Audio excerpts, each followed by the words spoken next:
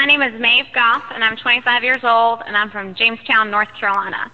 And my question is, as we enter the 2008 election cycle, what impact do you think the internet will have on um, sound bites that our politicians are giving us? And also, I mean, even inventions like this Apple iChat, where um, politicians can make a statement and it can be seen immediately all over the world, and it is recorded and they can't get rid of it.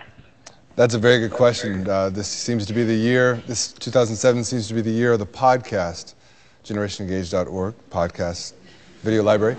So I leave that question to you, Mr. Sorensen.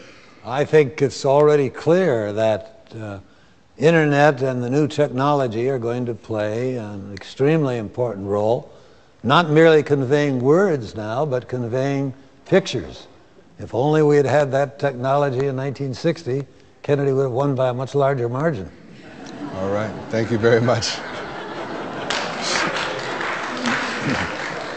I passed a, uh, uh, a ladies' uh, cosmetics store uh, uh, recently, and I've been a big advocate of privacy and uh, keeping the eavesdropping down. And the sign in the window said, You are likely to be photographed 50 times today. Mm-hmm. Why not look your best? That's good. That was a great answer. Thank you very much, Mr. Safire.